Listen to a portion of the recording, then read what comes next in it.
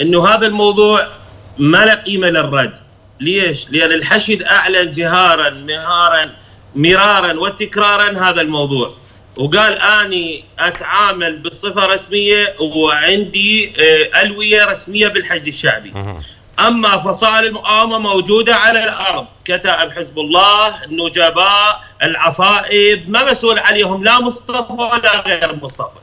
متى ما أفرزت العشائر دواعش من العشائر نستطيع أن نفرز ما تبقى، الحديث المغيبين القوى السياسية الموجودة الممثله عن القوى السنية تقول ما موجودة هذه الأعداد ولا موجودة هذا الرموز، لأن ما نقدر نميز من بين ما بين من ذهب مع داعش وقاتل في سوريا أو غيرها إذن ومن إذن بقي. اذا انت اذا أنت أيدت وجهة نظر الشيخ مصطفى. عفوا عفوا سيد عباس سيد عباس. 80% من العشائر نقطة صغيرة. آه، سني من من السنة ومن العشائر نعم نقطة صغيرة نقطة صغيرة.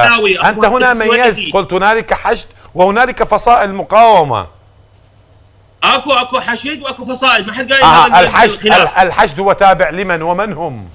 الحشد مؤسسة رسمية عندها قرار وعندها قانون وموجودة ضمن المؤسسات الأمنية. وماذا عن آه، فصائل هذا المقاومة؟ موضوع من عده ماذا عن نعم. ماذا عن فصائل المقاومة؟ تتبع لمن؟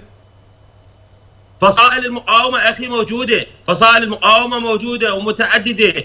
ما حد ناكرها هذا وعندها مشروعها وعندها رؤيتها. عندها رؤيتها تجاه الاحتلال الأمريكي عندها رؤيتها تجاه الكيان الصهيوني.